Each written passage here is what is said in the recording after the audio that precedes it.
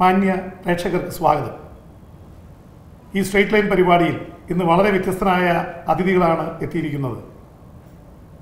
കേരളത്തിന് ഇന്ത്യയ്ക്ക് അഭിമാനം നൽകിക്കൊണ്ട് ഇരുപത് ഇരുപതാമത് കേരള രാജ്യാന്തര ചലച്ചിത്രമേളയിൽ സുവർണ ചകോരം നേടിയ ഒറ്റാൽ ചിത്രത്തിന്റെ സംവിധായകൻ ശ്രീ ആർ ജയരാജും അദ്ദേഹത്തിന്റെ പ്രിയ പത്നിയും അതിലെ നായികയുമായ ശ്രീമതി സബിത ജയരാജും സ്ട്രേറ്റ് ലൈൻ പരിപാടിയിൽ പങ്കെടുക്കുന്നു. ഇന്ത്യയിലെ ഒരു ചല ചലച്ചിത്രകാരനും നേടാനാവാത്ത ബഹുമതിയാണ് ശ്രീ ജയരാജ് നേടിയിട്ടുള്ളത്.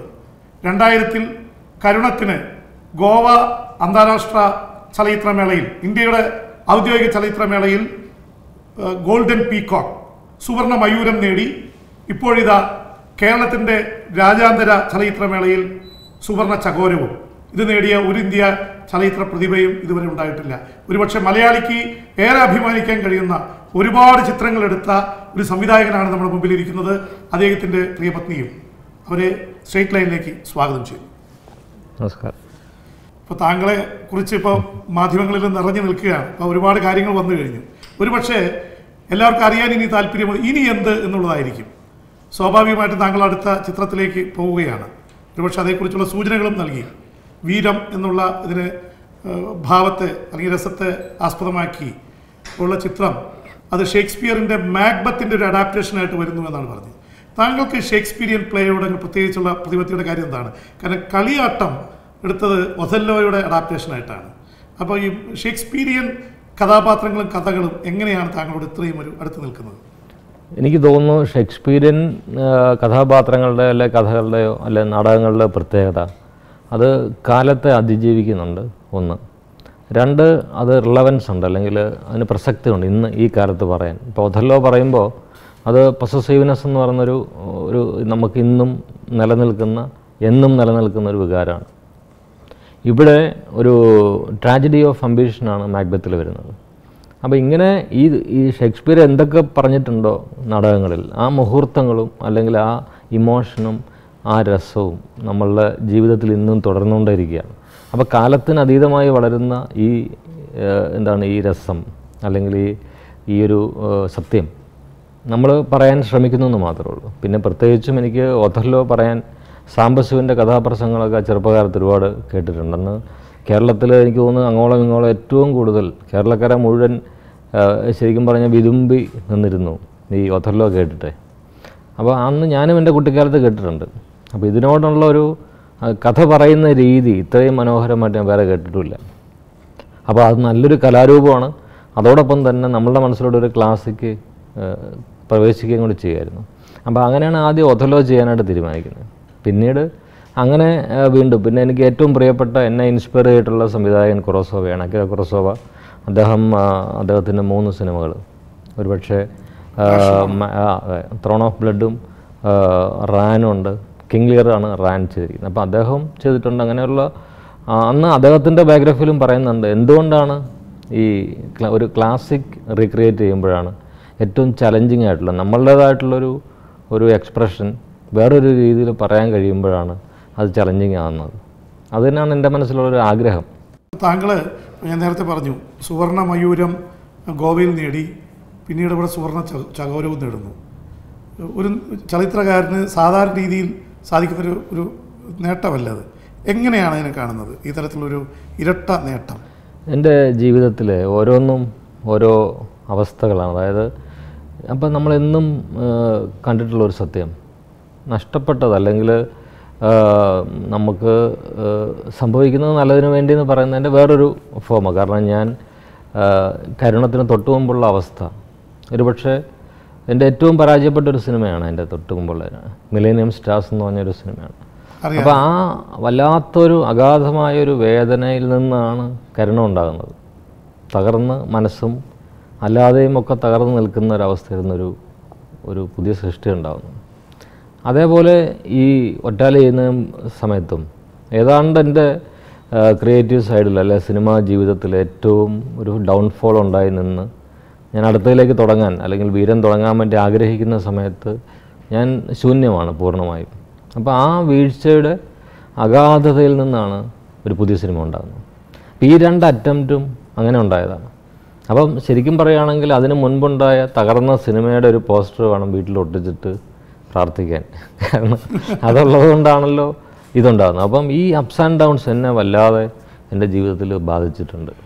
അത് ഞാൻ ഒരു ചോദ്യം ചോദിച്ചാൽ പലപ്പോഴും പലരും സിനിമ ചിലപ്പോൾ ബുദ്ധി കൊണ്ട് സിനിമ നിർവഹിക്കുന്നവരുണ്ട് ഇത് താങ്കളുടെ ഹൃദയം ആറ് പറഞ്ഞ പോലെ ഹൃദയം നുറുങ്ങിയിരിക്കുന്നു എന്നൊക്കെ പറയുന്ന ദോസ്തോസ്കിയൊക്കെ പറയുന്ന പോലെ ആ ഒരു അവസ്ഥയിൽ ഹൺഡ്രഡ് പേഴ്സന്റ് ഹൃദയവും മനസ്സും എല്ലാം ഇതിനു വേണ്ടി ഡിവോട്ട് ചെയ്തതിന്റെ ഒരു ഫലമായിരിക്കുമോ ഈ കരുണവും ഒറ്റാലും ഇത്രയും മനുഷ്യ മനുഷ്യ ഭാവങ്ങളോടും രസങ്ങളോടും അത്ര ചേർന്ന് നിൽക്കുന്നത് ഞാൻ സബിതോട് പലപ്പോഴും പറയാറുണ്ട് എത്ര വേദന നമുക്ക് ഉണ്ടാവാൻ അല്ലെങ്കിൽ സൂക്ഷിക്കാൻ മനസ്സിൽ കഴിയുമോ അത്രയും നന്നായിരിക്കും പ്രോഡക്റ്റ് കാരണം അത്രയും നമ്മൾ അത്ര നമ്മുടെ ശക്തമായിരിക്കും നമ്മൾ അതിനോടുള്ള പ്രവൃത്തിയും അതുപോലെ തന്നെ കോൺസെൻട്രേഷനും അപ്പം പൂർണ മനസ്സോടുകൂടി ഇറങ്ങിത്തിരിക്കുകയാണ്. കാരണം വേറെ ഒരു നിർവാഹമില്ല പൈസ ഇല്ല. അപ്പോൾ ഇപ്പോൾ ഞാൻ എന്റെ അസിസ്റ്റൻസിനോട് പറയുന്നത് നിങ്ങൾ പണത്തിന് സിനിമയ്ക്ക് വേണ്ടി സിനിമയ്ക്ക് പൈസയുടെ ആവശ്യമില്ല. പൈസ ഉണ്ടായിട്ടേ ഞാൻ സിനിമ ചെയ്യുള്ളൂ. അതിനെപ്പറ്റി ചിന്തിക്കുകയായിരുന്നു നിങ്ങൾ ഇറങ്ങി പുറപ്പെടുക. ആ പുറപ്പെടൽ എന്ന് പറയുന്ന പ്രക്രിയയാണ്. അതിന് മാത്രമേ നമുക്ക് നമ്മളുടേതായിട്ടുള്ളൊരു നീക്കം ആവശ്യമുള്ളൂ. അത് പൂർണ മനസ്സോടെ ഇറങ്ങി പുറപ്പെട്ടാൽ സംഭവിച്ചിരിക്കുന്നുള്ളത് നൂറ് ശതമാനം ഉറപ്പാണ്. ഈ ഒറ്റാലിൽ സ്വന്തം ഭാര്യയെ തന്നെ പ്രധാന കഥാപാത്രമായി നായികയായിട്ട് കാസ്റ്റ് ചെയ്യാനുള്ള പ്രത്യേക കാരണം വല്ലതും ഉണ്ടോ? ഇപ്പോൾ സബിതാന്റെ അത് നായിക എന്ന് പറയാൻ പറ്റില്ല. അതിലുള്ള ഏക പ്രധാന ഉള്ള ഏക സ്ത്രീ കഥാപാത്രം സബിതയാണ്. അത് ഒറ്റാലൊരു നമ്മൾ ഒരു വാങ്കയാണ്. ആന്റണി ചക്കോവിന്റെ വാങ്ക.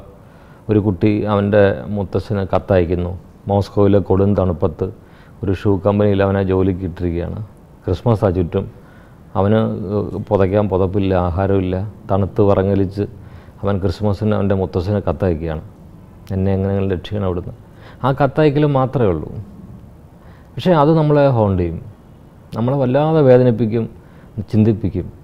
അത് തന്നെയാണ് നമ്മൾ ചെറിയ ഈ സിനിമയിലും ഈ നാല് ജൂറികളും അല്ലെങ്കിൽ അവർക്ക് അവാർഡുകളാണ് അവർക്ക് എല്ലാവർക്കും ഒരേ ആ ഇന്ന് ഞാൻ പത്രസമ്മേളനത്തിൽ പറഞ്ഞ പോലെ ഒരുപക്ഷെ ഈ വികാരം അവർക്ക് ഒരേപോലെ തന്നെ പകർന്ന് കിട്ടിയതുകൊണ്ട് മാത്രമാണ് ഇങ്ങനെ ഒരു അവാർഡ് കിട്ടിയത്. അല്ല ഒരു കാര്യം താങ്കൾക്ക് തോന്നിയത് ഇപ്പോൾ ബ്രസീലിയൻ ഇപ്പോൾ ജൂറി കമ്മിറ്റിയുടെ ഇപ്പോൾ പ്രസിദ്ധനായ ബ്രസീലിയൻ സംവിധായകനാണ്.